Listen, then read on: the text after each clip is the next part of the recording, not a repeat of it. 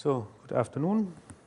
So, now we have the second lecture on algebraic topology.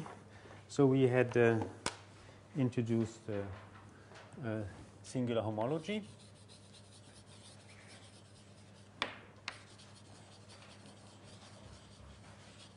So, that uh, means we had, to, so we introduced chain complexes.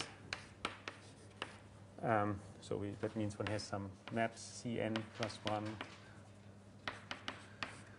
goes with d to Cn, goes to with d again to Cn minus 1, and so on. and then we had uh, uh, defined the homology of such a chain complex. So, um, so we had h, say n of C star would be the n cycles divided by the n boundaries, where uh, Zn of C is the kernel of D uh, from uh, Cn to Cn plus 1, n minus 1, and uh, Bn is the image.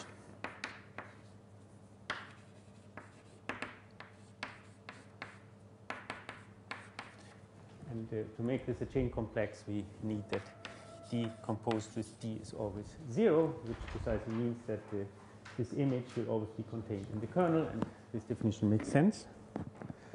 And for the singular homology,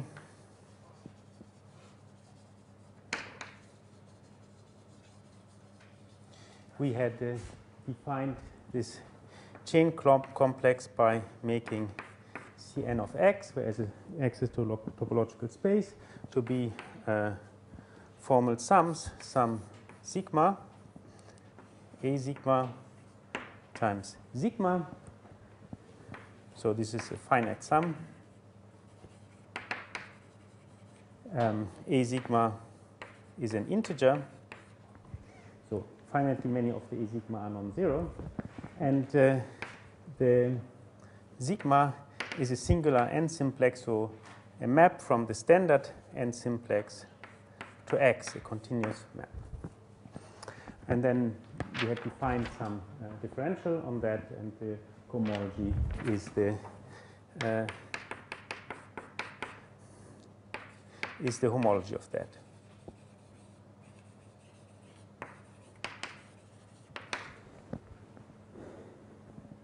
And we were now considering, uh, I mean, trying to prove that this is um, uh, invariant, uh, so that um, this behaves nicely for continuous maps. So, um, and for this we had first uh, looked at it more abstractly again in this context of uh, chain complexes.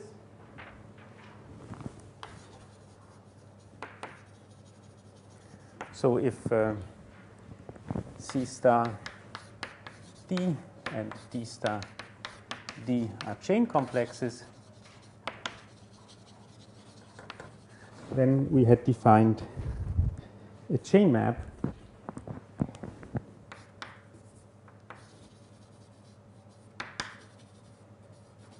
F star from uh, C star to D star is uh, a map at all levels, so is given by, say, Fn from Cn to Dn for all n, uh, such that it commutes with a differential. So if we have this map,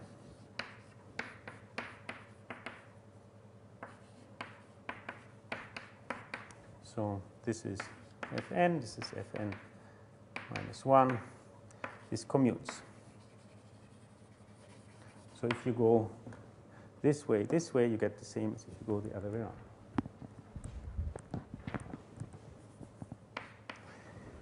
Okay, and uh, we had seen that if we have such a chain map, then we get an induced map on homology.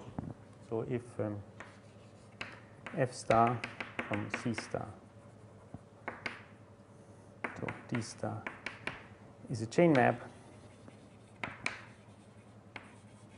then we have a map which I call also f star from hn of C star to hn of D star uh, is the induced map which is given by if I take the class in homology of a cycle uh, alpha in the n of C, then this is just mapped to the class of f star alpha. Or if you want, yeah, fn alpha if you want.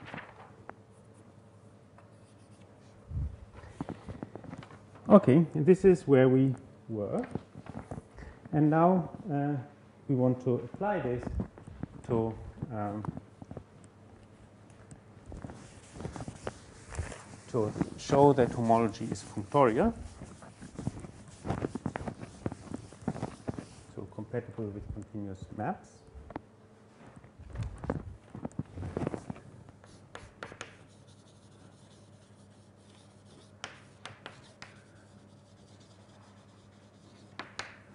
So this is uh, the following result.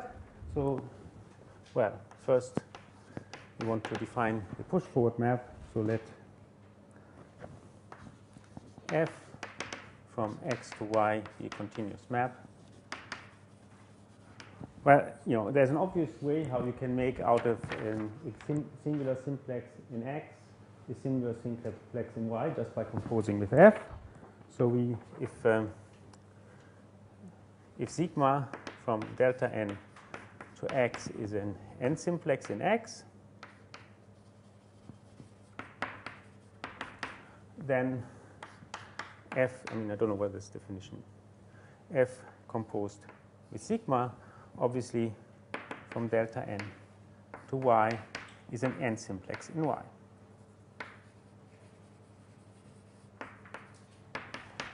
And obviously we can use this to define uh, a push forward map on uh, cycles on um, on the singular chain complex but just so we define fn from um, c star of x to c star of y in the obvious way Namely, if we have a cycle here, this is of the form sum sigma, where sigma runs through the n simplices, the singular n simplices in x, a sigma, which is an integer, times sigma. Well, if you want to apply fn to it, the only thing we can do is we apply it in some sense to sigma, the way we apply it to sigma is by composing.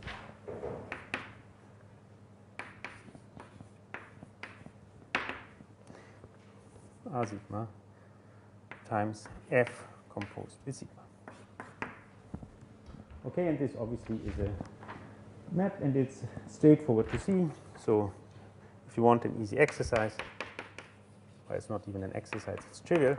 Uh, this is, if I, we have this F star given by the Fn, is a chain map.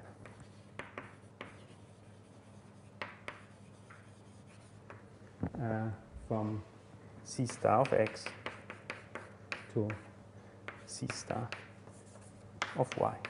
Because obviously it's compatible with taking differentials, if you remember the definition of D.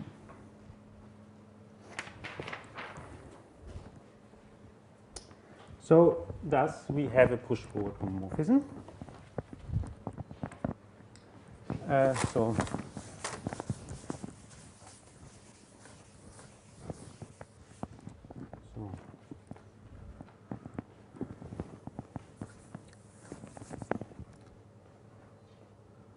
So this is a chain map. So um, thus there is a map with a group homomorphism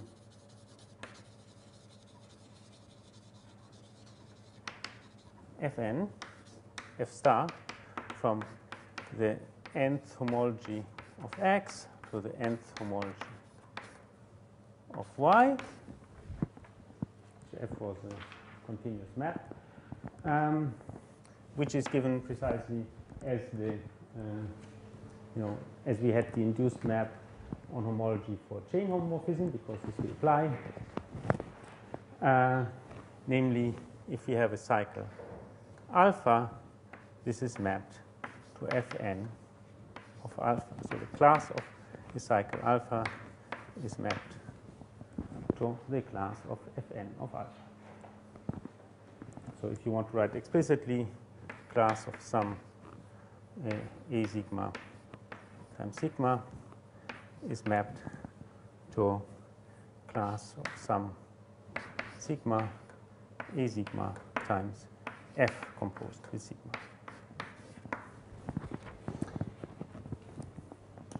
Okay, and this, so F star, and this is true for all n.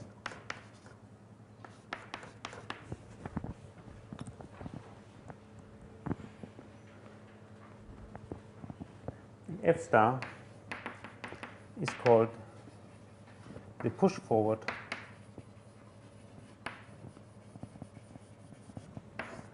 by f.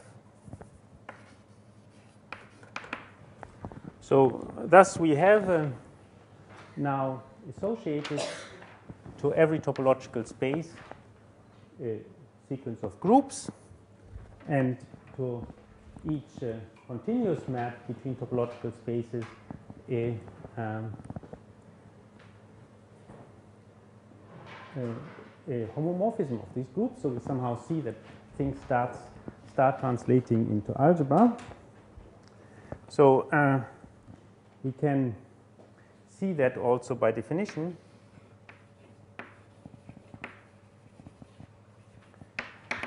If um, f from x to y and g from y to z are continuous maps,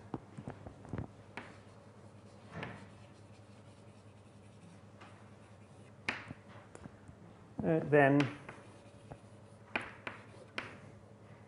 if I take the push forward by the composition,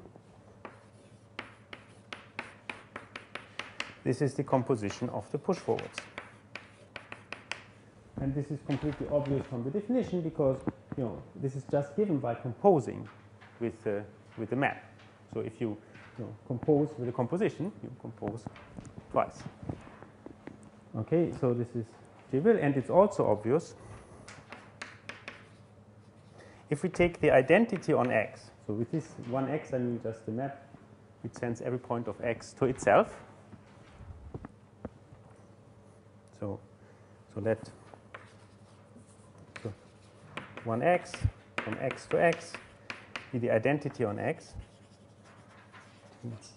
map on x, then clearly the push forward by the identity is the identity.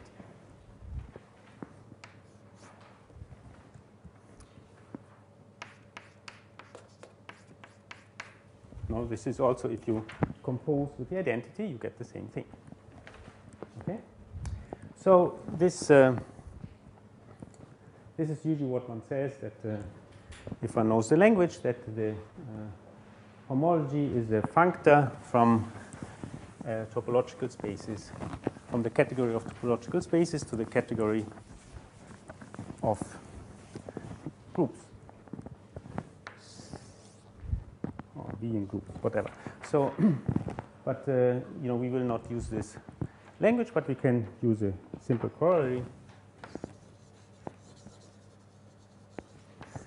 that homology is invariant under homeomorphism.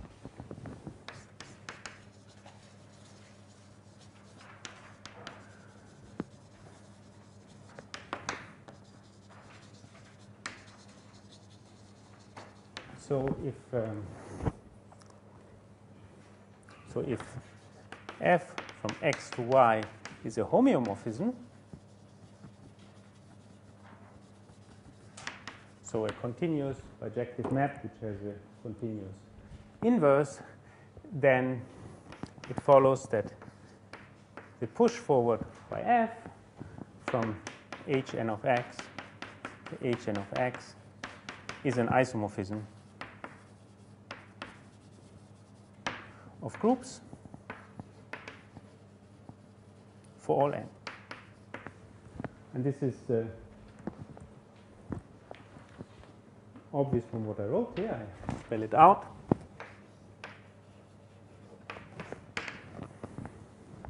So uh, if um, so f is a homeomorphism, so we have uh, the inverse homomorphism f to the minus 1. So we have the identity on the nth homology of x is, uh, you know, as we know, as I just wrote there, the push forward by the identity on the nth homology. Now, you know, we have f and f to the minus 1. So if we first apply f and f to the minus 1, we get the identity. So this is the same as the push forward by f to the minus 1 composed with f, which is f to the minus 1 star composed. f star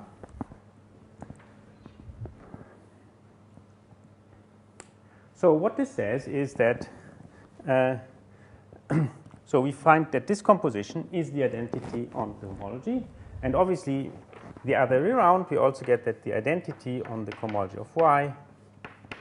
So similarly,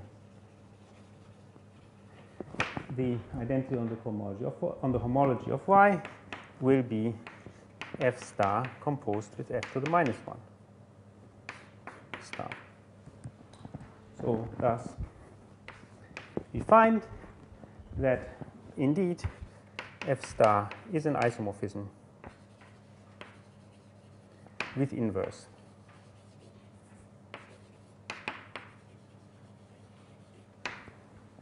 The push forward by the inverse. Okay, so this is uh, completely standard. Okay, now we want to finally compute the homology in one example, and precisely in the simplest example that exists, which is one point. Okay. So it's kind of comfort. I mean, until now we have this rather complicated definition, but uh, know we haven't computed any case at all. So we want to compute the most trivial thing we can imagine, which is a point. For example, so let uh, say point uh, be the space, so point be the space consisting of a single point.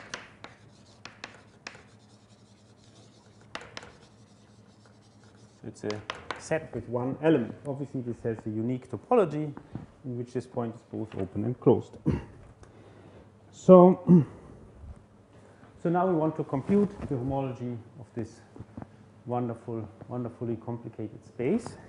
So, uh, so well, first, you know, there are not very many maps from any space to a point, namely always one, which maps everything to that point. So whichever space you have, the only map from that to a point is the map which sends every point of the other space to this given point. So for all n, there exists, there is a unique map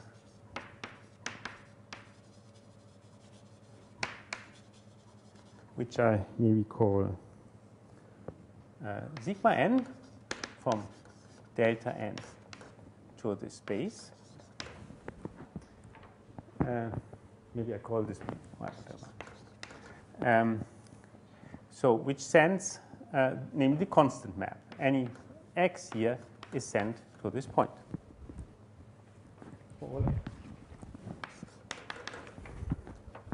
And this uh, map I call sigma n.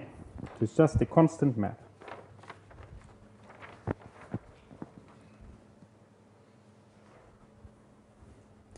So from this, we already we can already compute uh, what this chain complex is, what the singular chains is. So we get C n of x is uh, the set of all linear combinations of all possible maps from sigma n to point. So this just means all multiples of this one map. So this is just z times uh, sigma n. Okay? So this is Cn of x is isomorphic to z. And the elements of it are a times sigma n, where a is in z. And uh, so for all n. And what is the differential? So if I take d of sigma n, then we have to recall the definition d, which I did not repeat at the beginning of the lecture. But how did it go? This is sum i equals 0 to n minus 1 to the i sigma n composed with this map E0. We leave out i. So if we have a, this is a, a map from delta n minus 1 to delta n, which sends the, you know, the, uh, linear combination of the E 0 to En minus 1 for the corresponding linear combination of the 0 to En, where AI, does not uh, figure. Okay, and what is this? Well, this composition, whatever it is, is always sigma n minus 1 because this is the only map that exists from delta n minus 1 to uh, x. So this is just an alternating sum of sigma n minus 1s. And so this will be, uh, depending on whether this number is even or odd. Sometimes plus and minus cancel each other out, sometimes they don't. So this will be 0 if n is odd, hopefully.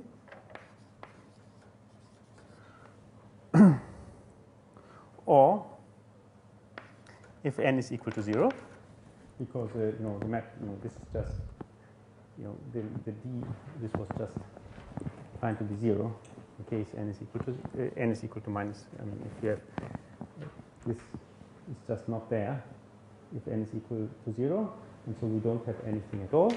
And the other case, it is just if you look it up, sigma n minus one, if n is even and different from zero.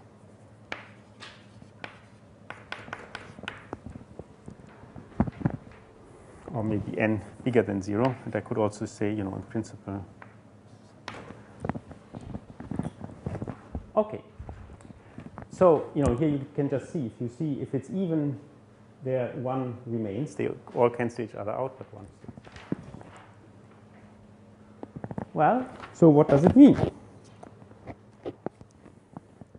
Well, so if you look Bn of point, so I claim that this means if I take the boundary, the singular boundaries, this is equal to the for n bigger than 0.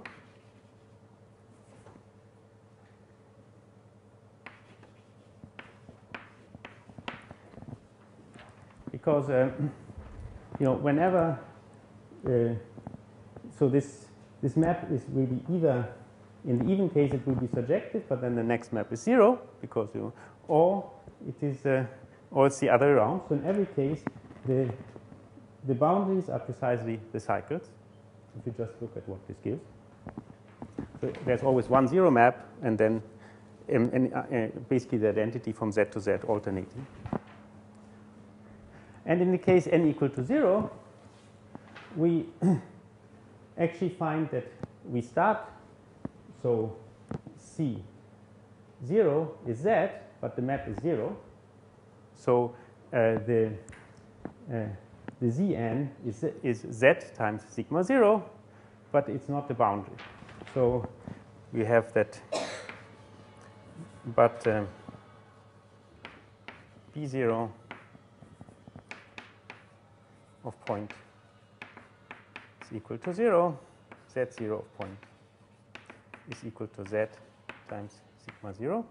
So thus it follows. So the result therefore is that the homology of a point is equal to 0 if n is different from 0 and z times sigma 0 or just z if n is equal to 0. So we have uh, succeeded in computing the homology of this uh, very simple space. So you just have to, to look what this means and it's really obvious. What? Uh, what does uh, H0 mean? What? What does this homology H0 mean? So what does H0 mean? No, I just can you, what does H0 B0? That doesn't make sense. I mean, what, can you just say, maybe you formulate it in a different way so that I can understand. Uh, I say uh, H0 is a homology. Yeah. What, uh, what does it mean? What does it measure? Yes. Okay. So, um, so the question is, H0 is uh, the zeroth homology. What does it measure? And uh, you are very lucky because that's precisely the next result that we are doing because the H0 is always Z to the number of path components of the space. So in this particular case, a point has one path component and uh, so H0 therefore is Z. And that is precisely what we do as a next step.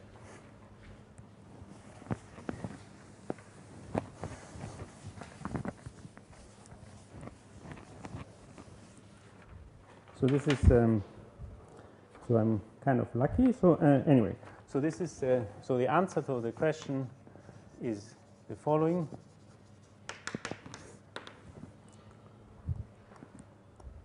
So first, so this is uh, slightly more general. So if xk, k, is the set, so let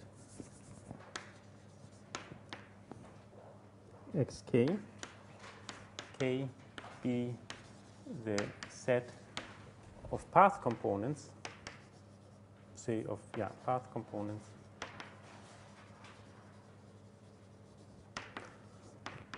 of a topological space X.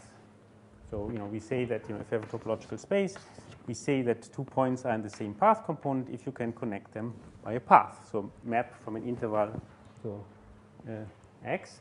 And they are in different path components if, uh, you know, you cannot, like here. Um, then the first statement is that the homology of X for all x is just the direct sum of all the homologies of the path components.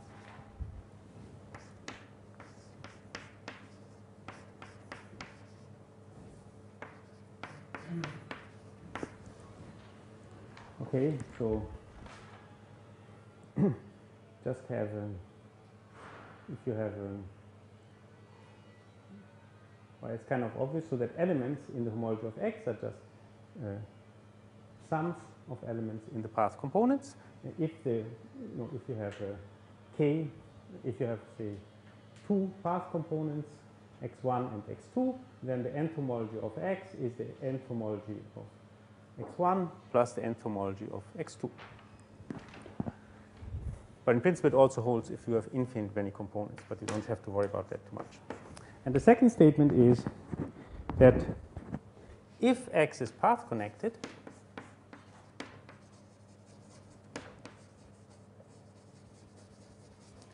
then the zeroth homology is just Z.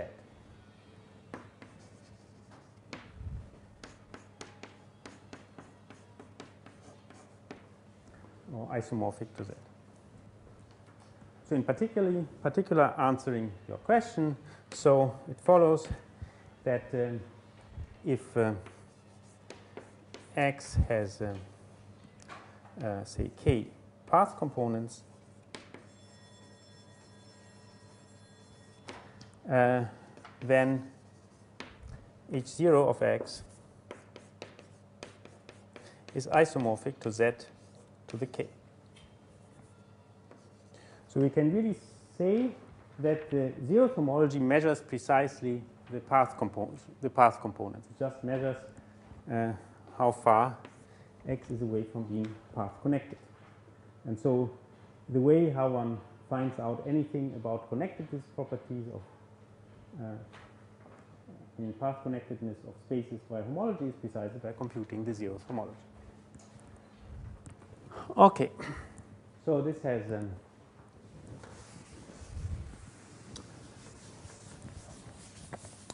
so we have these two parts. So the first one is in some sense trivial. I only have to see whether I can convince you of it. So proof.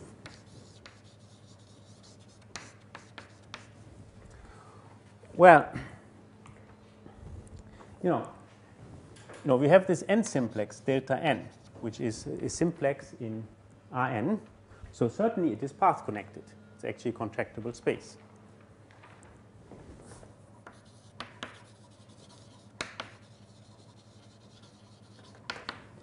Um, so if uh, sigma from delta n to x is a singular n simplex, you know, then it's the image of a path connected space by a continuous map. So then the image is path connected.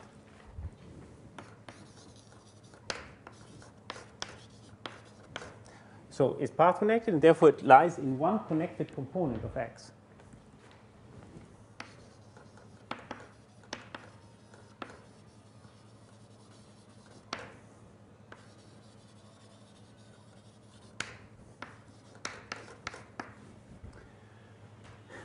And um, so furthermore, if we take, uh, you know, d sigma, then uh, so all the then this is a linear combination of uh, n minus 1 simplices of singular n minus 1 simplices which lie in the same path component as uh, is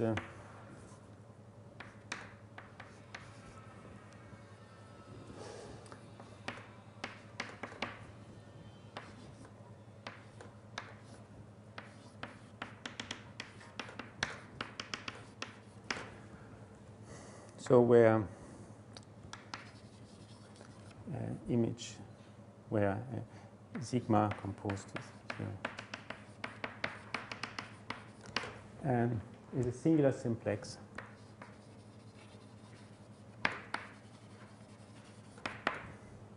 in the same path component of x. So if then we write x as uh, the tune of xk, where the xk are the path components, then we see that every singular simplex lies in one of the xk. So if you have a, a, chain, it's just a direct sum of change in each of the xk's, and the differential just sends something which lies in xk to something that lies in xk. So we get that c star me see. So C, so it follows that Cn of x is just the direct sum over all k of the Cn of xk. The d respects this uh, summation.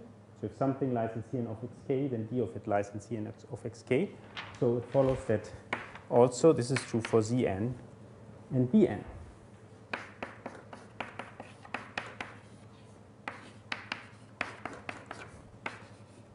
Uh, that would be not so n of xk.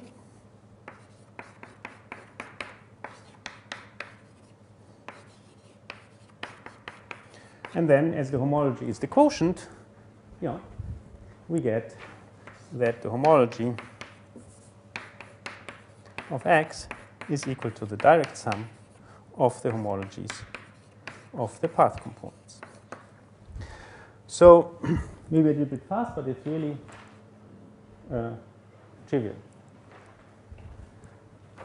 You know, after all, a, a singular chain is just a, you know, a formal sum of simplices, and each of the simplices has to lie uh, in one of the path components, and everything is just a direct sum. So now we come to the second part, which is more interesting.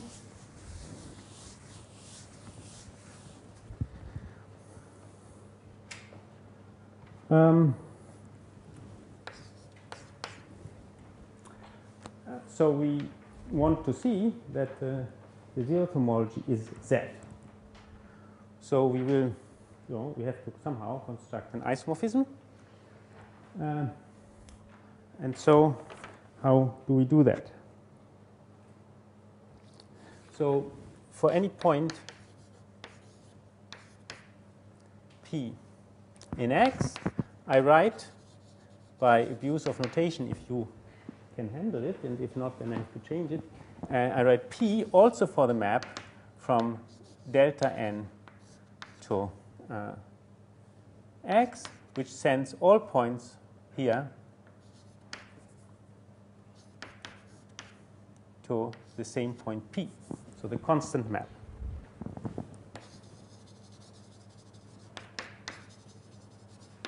So I've just called the constant map which sends everything to P, also just P. So this should not lead to, lead to confusion, but if it does, you tell me. Okay. So on the other, so if you have a point, say x, in x, uh,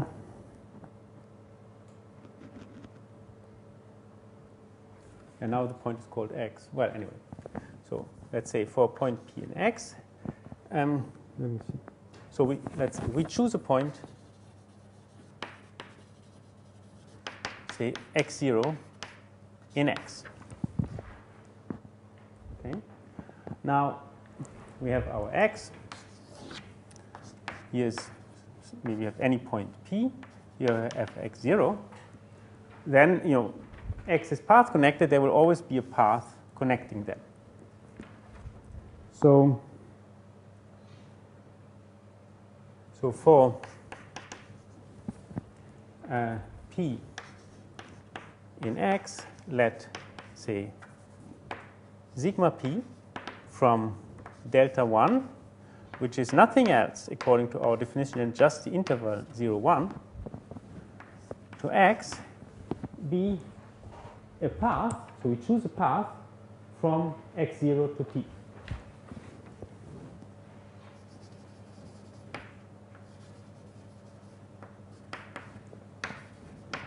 So this path here is sigma p. Then if you uh,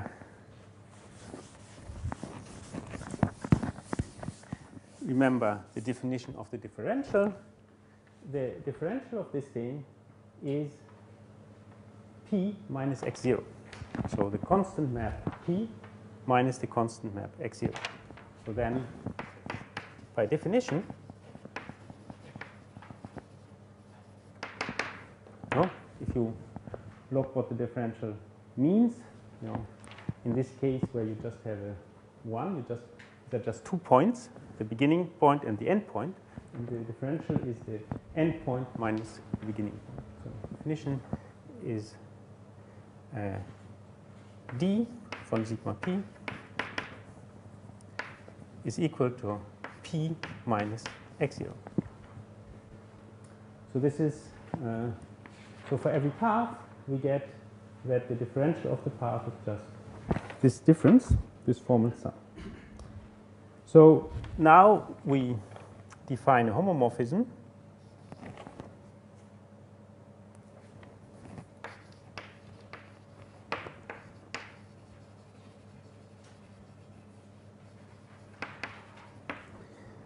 Uh, epsilon from the zero chains of x to z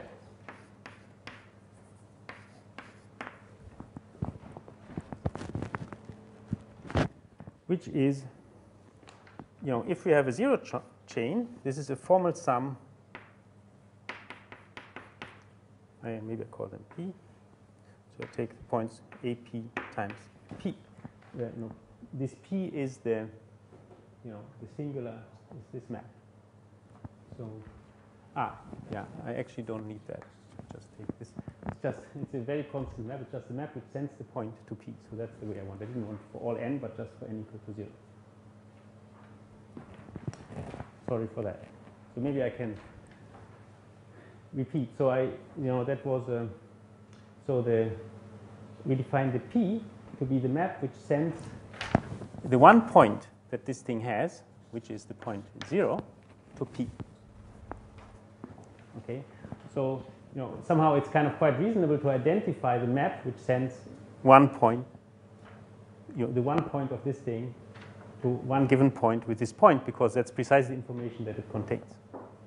So, and then, uh, so this was our P. And now, given a point, we find uh, that uh, uh given a we can make a path to any given point, and the differential of uh, the path viewed as a one chain is precisely the difference, the, the point minus uh, the kind of base point we chose. Now we define this homomorphism. So if we have this, we just sum, we just take the sum of the coefficients.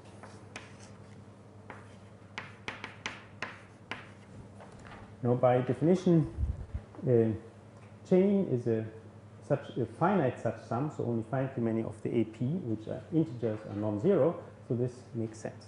It's a finite sum of integers. So now we want to prove that the homology is isomorphic to Z. So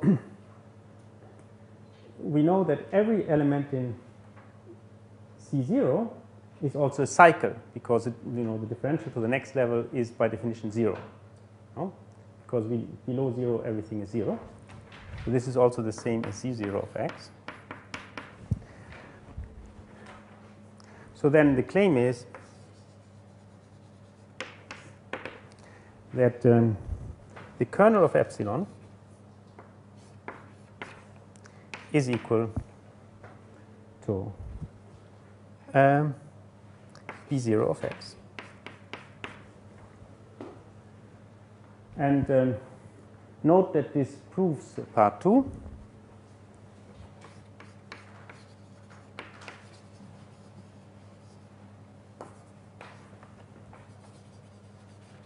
It proves 2 because epsilon is obviously surjective. No, we can write down anything. We can get whatever number we want. We could just take one point and take any coefficient, then we get that coefficient. So the map is certainly surjective.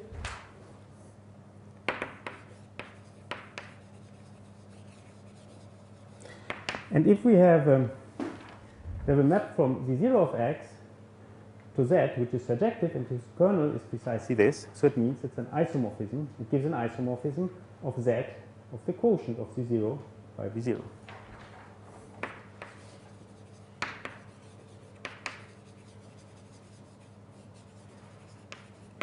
Um, z0 of x.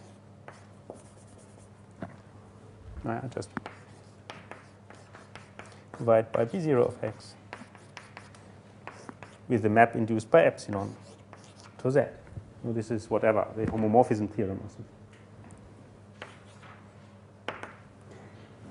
And after all, this thing is h0 of x. Okay, so we just have to prove this claim.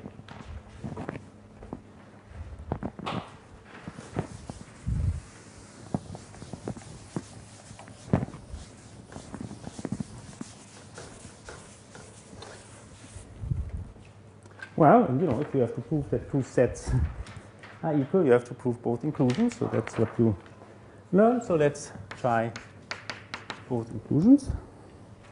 So let's take say an element equal to sum p ap times p be an element in the kernel of epsilon. So then we have to show that it is a boundary. that is d of something. Well, that's quite simple because we can write it like that. So this is certainly alpha.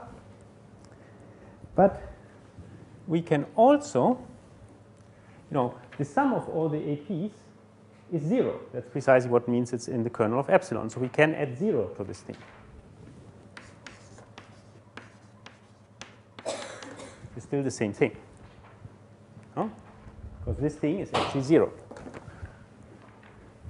But now we see if we look at this thing, this is just the differential of uh, this. So this is equal to the sum over all p, AP, times the differential of sigma p,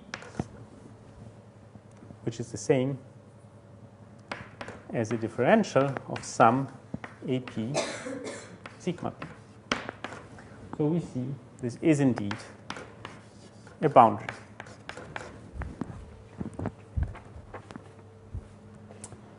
So, and the other direction is even slightly easier, I think. So if, say, sigma from, again, delta 1 to x is a, a singular one simplex, which is the same as a path.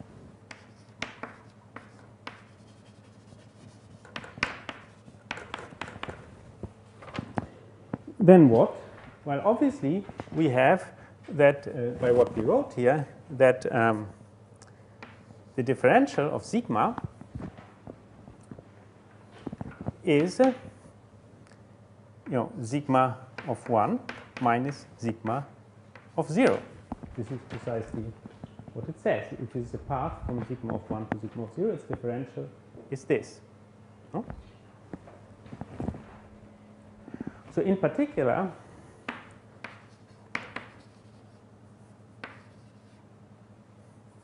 so I mean maybe uh, to be sure, if I write something like this in the other notation, this means uh, you could, you know, like here, you could also write this plus minus this. No?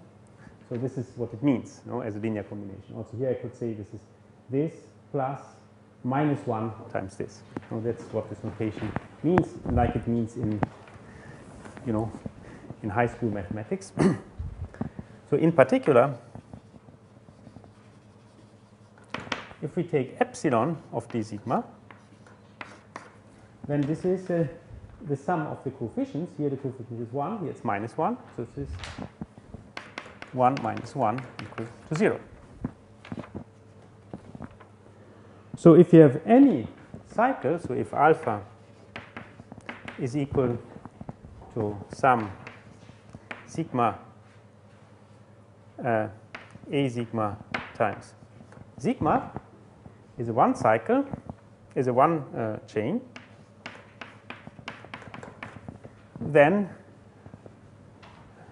and we take the differential, then uh, so epsilon of d alpha is equal to epsilon of sum sigma a sigma times d sigma. And you know, epsilon is also you know just uh, linear, so it goes in here. So this is sum sigma a sigma times epsilon of d sigma. And we know that for every uh, one uh, simplex, epsilon of d sigma is equal to 0. So this is just the sum of zeros. Okay, so we see uh, this inclusion. So we have that uh, indeed uh, b0 of x is contained in the kernel of epsilon. Okay, and so this proves uh, this proposition. Okay, so now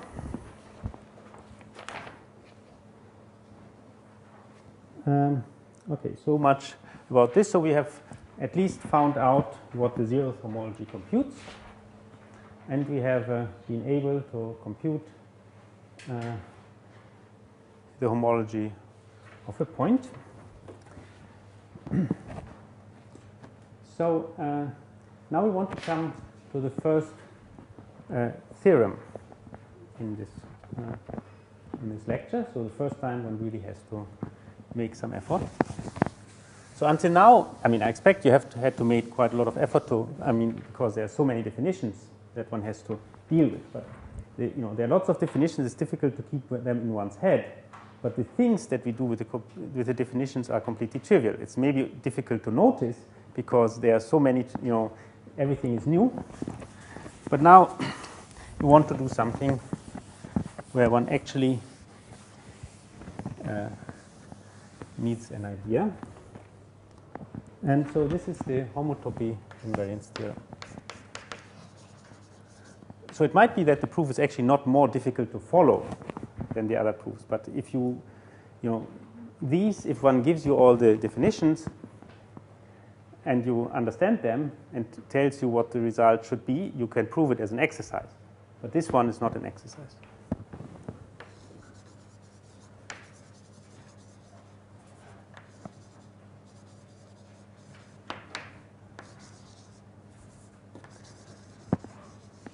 So the homotopy invariance theorem. So we want to show that homology groups are homotopy invariants.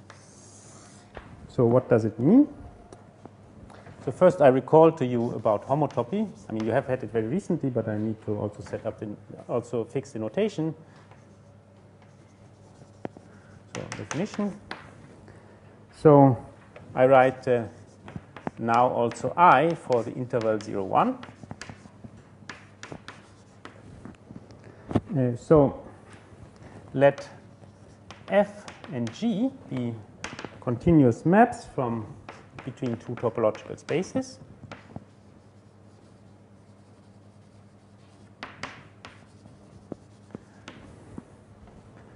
So a homotopy, a homotopy uh, f from, I write it just like this, from f to g is a continuous map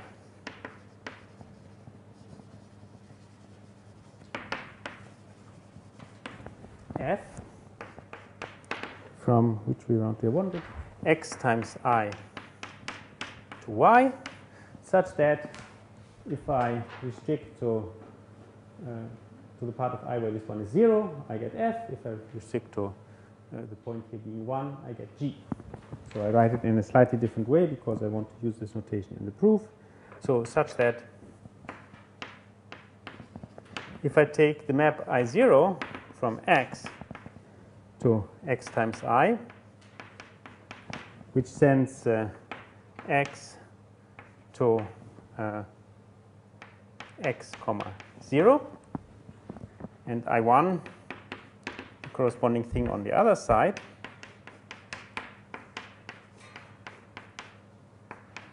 If I have these two maps, uh, so for these maps, for these maps, we have that f is equal to large f composed with I0, which just means the same as saying I restrict to x times 0, um, and g is equal to f composed with I1.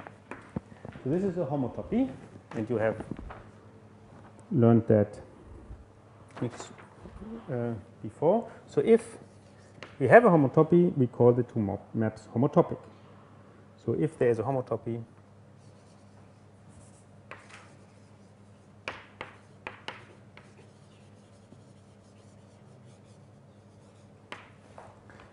f from f to g, uh, we call f and g homotopic.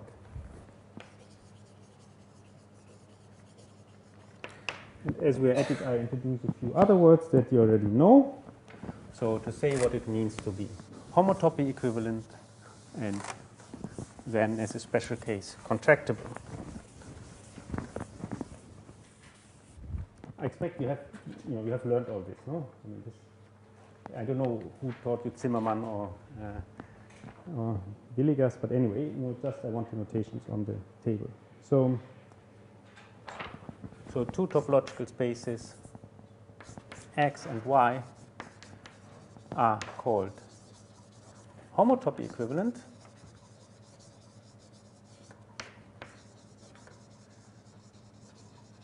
So,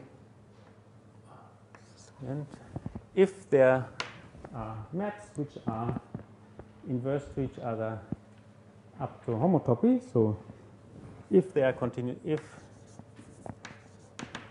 there are continuous maps, I hope that's correct, f from x to y, g from y to x, such that if I first go from x to y and then go back, this is homotopic to the identity on x. And if I do it the other way around, is homotopic to the identity on y. And um, I call, uh, if x is homotopy equivalent to a point, I say it's contractible.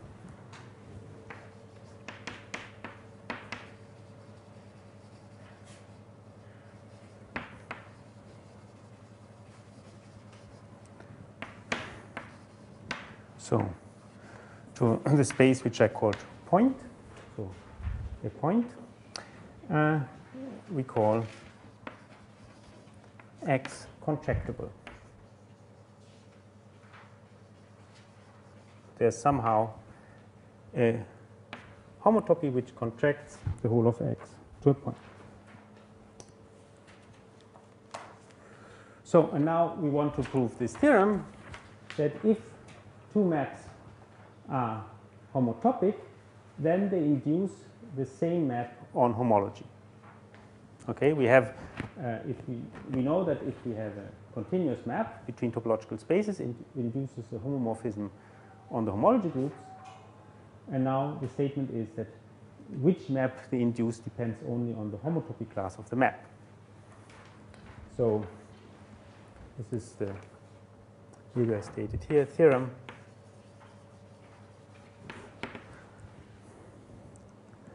if x and y are, no, was wrong one. So let f and g from x to y be homotopic. Then, if I take the push forward map by f, then it is equal to the push forward map for g you know, which, you know, as a homomorphism from hn of x to hn of y.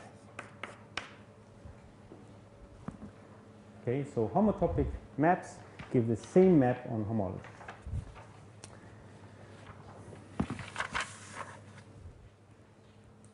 You have some easy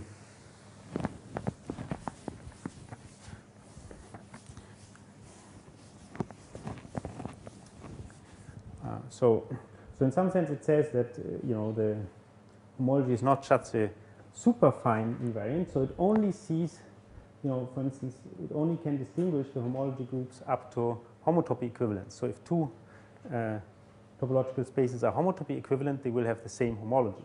Well, that comes in a moment. Um, so, uh, so that tells us that there's uh, one thing that they are not, they don't contain all the information about uh, our spaces. On the other hand, it maybe tells us that they are somehow easier to compute because they only depend on this kind of data. So corollary, um, if x and y are homotopy equivalent,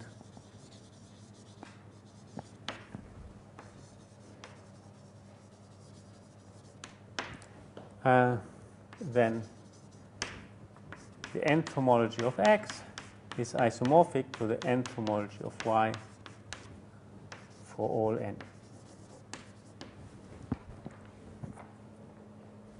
You can use without proof this theorem. What? Can you use this theorem without proof? What does it mean? I mean, to use without proof. You didn't give us proof, right? No, I, I, I will, I first give the corollaries and then I give the proof. Okay? to give you some kind of, uh, I mean, you know, you want to know that uh, the, the theorem has some applications, so I first give the applications and then I give the proof. Okay, so I think you can figure out yourself why this is a corollary. You know, you just, uh, you know, you have this, uh, if these are homotopy equivalent, you have G and F, so that the composition in one direction is the identity, in the other it's the identity. So that precisely means that, uh, uh, you know, if you do it for, you get the same thing for the push forward, and uh, uh, that's it. So I can maybe make this an. If you cannot do this, then maybe you should worry a little bit. So the second one is, um, which is a special case, that if x is contractible, contractible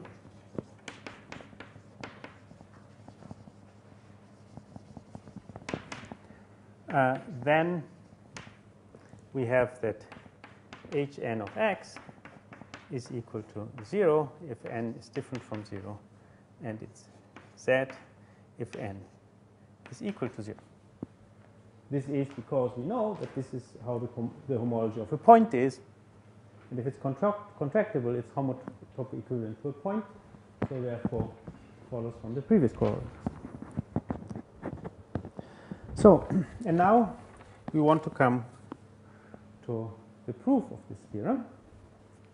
And uh, in order to do this proof, we first again need to go back a little bit to the homological algebra. Maybe I start with a new thing here.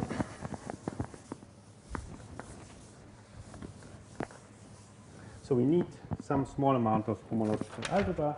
Again, have to talk about uh, chain complexes and so on. And so what we want to, what we need now is a chain homotopy. So definition.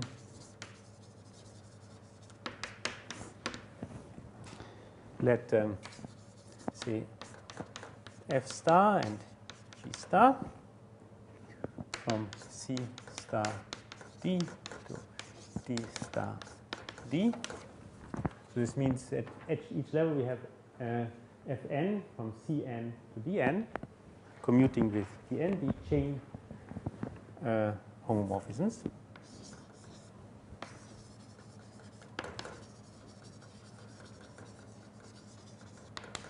So that means so we have Cn,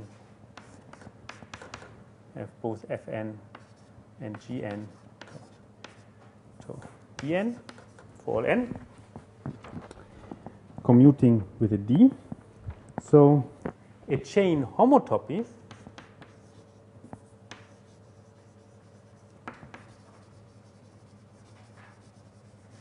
from uh, F to G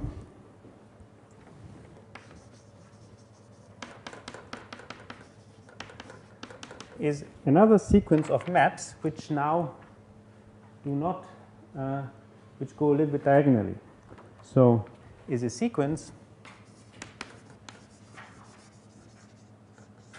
say maybe I call them Sn from Cn to dn plus 1 uh, such that then we have this strange formula that somehow interpolates between, if we also use the differential, it somehow interpolates between f and g, such that if we take d composed with Sn minus n minus 1 composed with D. This is, say, well, now I want it like this, Gn minus Fn. Okay, so let me write this also in diagram form so that you have some. Anyway, we can see what our theorem is. so we have here, say, have here C n minus 1, Cn, if you want Cn plus 1 each time d. And uh, we have here the same with the d.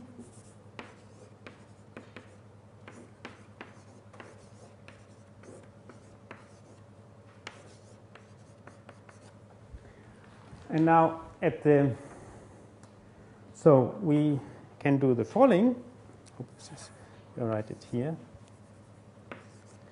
Um, so what is this map? So we have here the map Sn. Here we have the map Sn minus 1. Here we have both the maps Fn and Gn. And now, so this is supposed to be true for all n, obviously. And so now we want that if we do, uh, say, if we first go here and then here, and we subtract first going here and then here, we get the difference between these two maps. So the difference between the two maps, I mean, after all, these are homomorphisms of uh, Abelian groups, so I can form the difference. The difference between these two, these two maps is the difference between uh, commuting these maps with a differential in the two different ways. So this is a chain homotopy. And uh, why would we be, uh, why would this be of any relevance? The point is that if we have a, the claim obviously is that if you want to use this, that if you have a chain homotopy between uh, two chain maps, then they induce the same homomorphism on the homology. And then we will use this to prove our theorem to show that if we have a homotopy between two maps, then we have a chain homotopy between the induced maps. I mean, between the induced things on the, on the chains. So let's see. So we first have to prove this little lemma, which is actually quite trivial. That's one of the it's one of the features of homological algebra that most arguments are extremely simple. It's only that there are very many very simple arguments. So proposition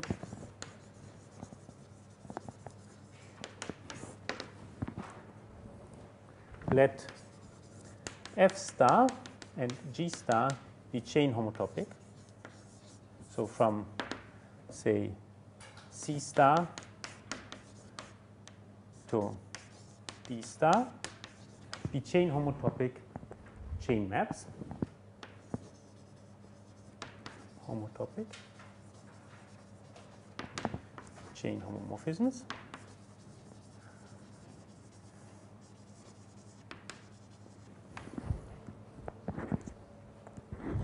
Then, well, if I take the map on homology, it's equal.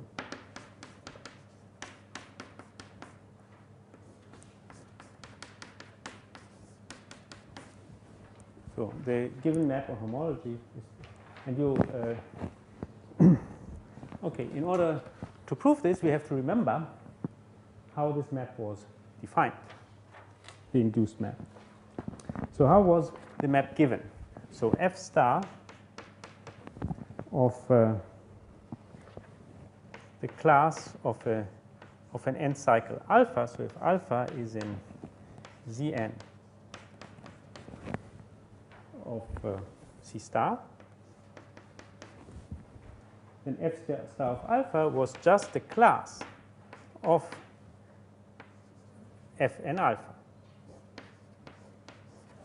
No, that's how we had defined it. And one had to see that this is well defined. So that first, if alpha is a cycle, then fn alpha is a cycle too, and that if one changes alpha by a boundary, then uh, also this gets changed by a boundary. But this is kind of trivial, and we did it.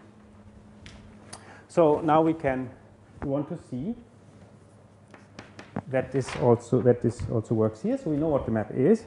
So let um, so we are here in the proof. So let so alpha is here. So we have if we take alpha in um,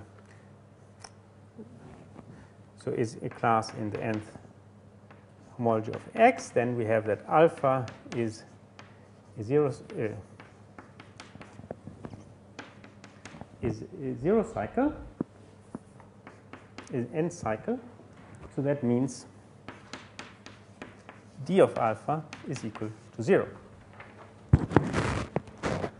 So now we can try to form the difference between uh, these push forwards by f, uh, the map induced by f on homology and the map induced by g on homology.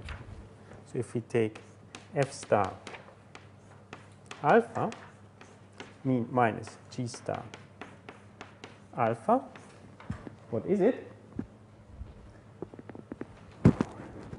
Well, certainly um, we can, you know, by definition, this is the same as putting the fn into the thing. And then it's just, you know, a homomorphism, so we can also put the sum into it. So this is the class of fn alpha minus gn alpha.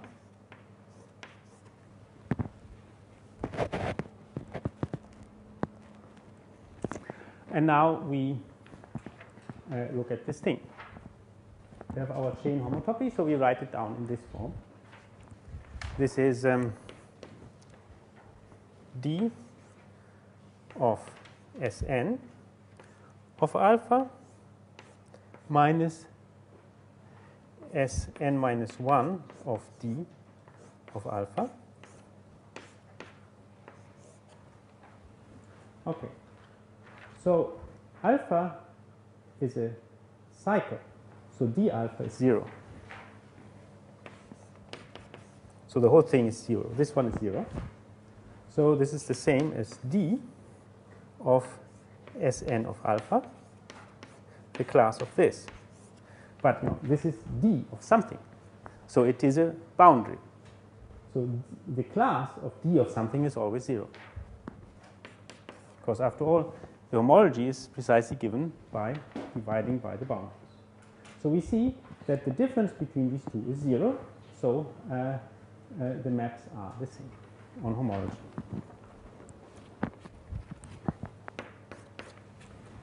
So now let me see. It's a bit difficult now. Quarter of an hour. Not now. One comes to the actual proof of the theorem. So we'll somehow start. First, there's a reduction, which is easy, and then we'll see what we can still do, and at least tell you what the setup is.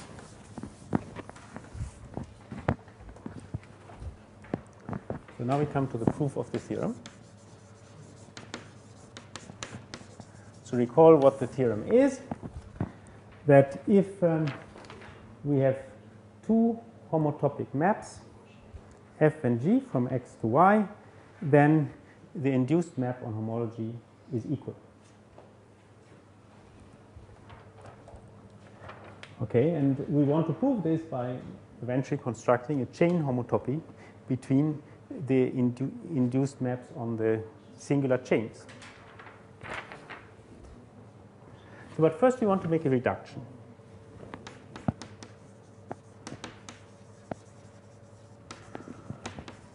To a very special case. Somehow there's a very simple homotopy between two maps, and it's, in, and it's enough to prove it for this one homotopy. So if I take the identity of x times the interval 0, 1. Okay, this is a nice map from x times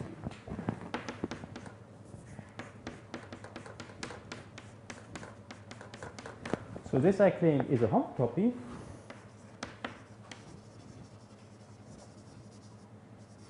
from uh, between the two maps I0 from x to x times i. If you remember, this was sending x to x comma 0 and between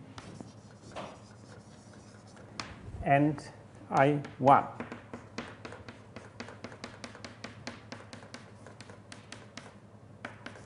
I mean, this is obvious that this is a homotopy, it's a map from this, from x times 0, 1 to some space, such that if I restrict it to x times 0, I get uh, uh, I0, and if I restrict it to x times 1, I get I1.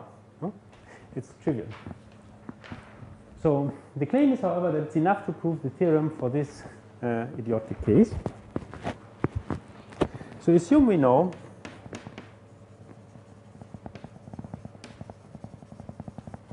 that I0 star is equal to I1 star as maps from Hn of x to Hn of x times i for all i, for all n.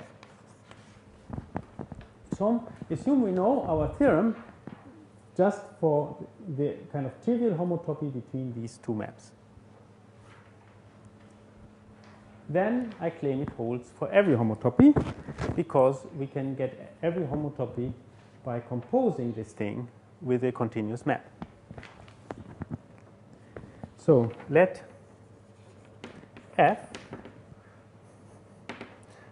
from f to g be a homotopy. So where f and g are continuous maps from x to y. Well, then it's not very difficult to see that uh, obviously f is just f composed with i0, g is just f composed with i1. And if you want, f is just f composed with the identity. Okay, nobody can doubt that. We don't really need it. So we just obtain our given the homotopy we want just by composing this kind of trivial thing with our given f. And then we can use that homology is functorial so that we have a induced map. So then we get that, so then it follows because of the, that f star, so the map on homology induced by f is just f star composed with i0 star. Now, as i0 star is the same, you know, I as I0 star is the same as I1 star, this is the same as F star composed with I1 star. But this is, you know, this is G star. Okay, so we just reduce to this simple case. So thus, we note that it is enough to prove the theorem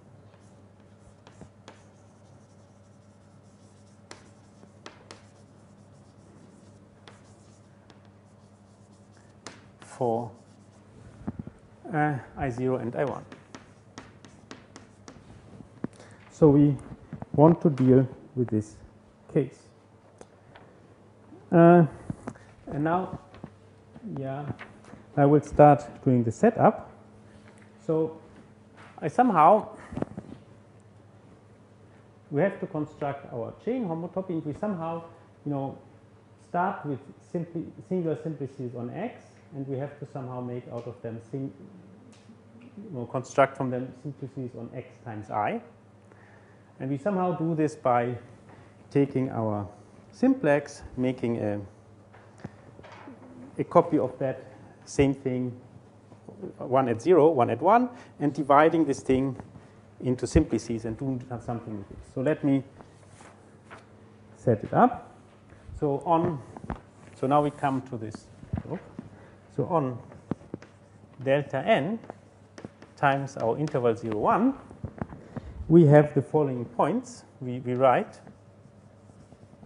uh, vi equal to ei comma 0. So remember that ei were these points in uh, the, the kind of uh, corners, or however you call them, the vertices of delta n. And uh, wi equal to ei comma 1. So that means if we do just the two-dimensional case, we have here, I mean the zero, the one-dimensional case, and then times i is two-dimensional. So if we have, so we have here v0, e1, w0, w1. So in this case, we get such a square. But you know, if you have a, another simplex, you know, you would have. Um, anyway, let's first uh, see how it goes on. And now we define for i equals 0 to n, we want to define a singular n plus 1 simplex in delta n plus i. Uh, so we, we put um, so singular n plus 1 simplex in delta n times i as follows. Well, if you remember the notation we used to denote maps, so we take the map uh, W0, W i, then we start with no v0 to vi, then we start with wi until wn. So this, if you remember, we take uh, this by definition is the map which sends the linear combination of the of e0 to en plus 1, because these are n plus 1 entries, to uh, the corresponding linear combination of these. So that means um, so this is a map from delta n plus 1 to delta n times i. Maybe I can just uh, write. So if we have, uh, this is the map which sends uh, sum i equal 0 to n plus 1 ei to times, so ti times ei where ti are some numbers which add up to 1, uh, to, by definition, sum i equals 0. Well, then this cannot be i because we have an i, so I call it k.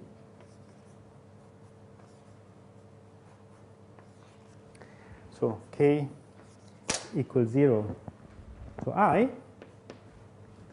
uh, t k v k plus sum k equal, how do I want to do it, um, i plus 1 to n plus 1 uh, tk wk minus 1. Okay, so this is the map. Huh? So this is just written out what this is. And so obviously the image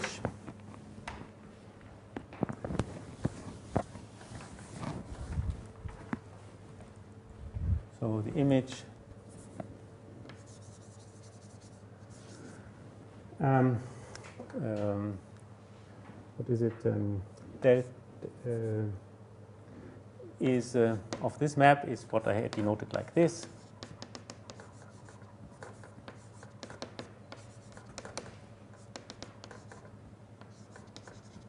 So just the set of all linear combinations of these elements.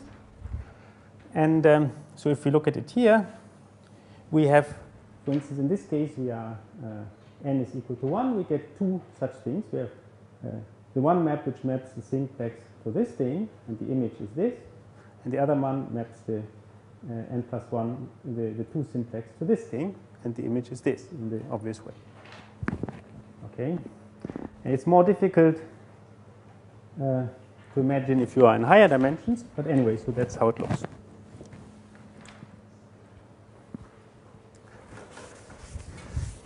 Now we want to use this to uh, do something with it. Let me see, I have about two minutes. so maybe I just uh, write down the operator, and then we have to show that this gives us eventually a chain homotopy. So definition, so define the so-called prism operator. So this is P from Cn of x to Cn plus 1 of x. So it should have been called Pn, but I just write P. Um, so I first define it just on simplices, on singular simplices. So for so first I define it for simplex sigma from delta n to x. So simplex, singular simplex. How do I define it? Well, I just write down a formula. So P of sigma is equal to sum i equals 0 and minus 1 to the i. One always wants, when one writes formulas, one always wants to sprinkle some signs in it so that afterwards things cancel. Now we take sigma uh, times the identity on i and we apply this to W0, no, V0 to VI, WI, WN. So we have these uh, uh, simplices, uh, these uh, maps from delta n plus 1 to this thing, to this product, and we apply sigma times the identity to it, which gives me precise, which gives me a map from uh, uh, from this uh, delta n plus 1 to uh, x times i. So after all, that's what I wanted. we want to, this should be our, uh, So this is not composition. what is not composition? Sigma cos 1. No, it might be there's a misprint in the notes. So, so this is not the composition, this is the product. So it's sigma on the, so this is after all we are, uh, it's, it's sigma on the delta n, it's the identity on, so, you know, this thing is a map, if you look at this, this is a map from delta n plus 1 to delta n times i. Okay? And now we uh, first do this map. Now we are in delta n plus i times i. And now we apply the sigma on the delta n and the identity on the i. Okay? So this is the thing. So if we look at this particular case, we apply, we take this whole thing and we apply to it uh, sigma times the identity on i to go somewhere. To go finally to uh, x times i. Um, and we take here, we take it with a positive sign, and here we take it with a negative sign. And this has the nice effect that if you look at this thing, you have 1 plus, 1 minus, so you can hope that uh, in the middle it somehow will cancel. That's why one has the sign. Okay, and so then the claim, which will prove the theorem, is that P from I0 to, so P is a chain homotopy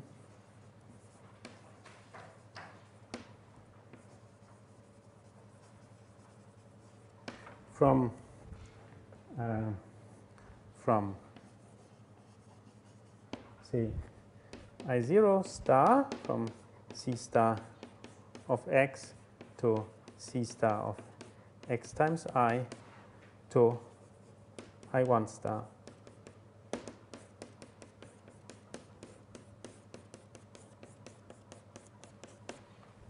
Okay, that's the claim, and that's the thing we really have to prove.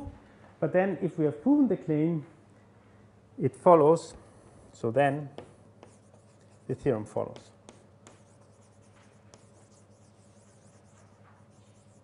Because if we have a chain homotopy between these two, this means they induce the same map on homology. So thus, because then I0 star is equal to I1 star on homology.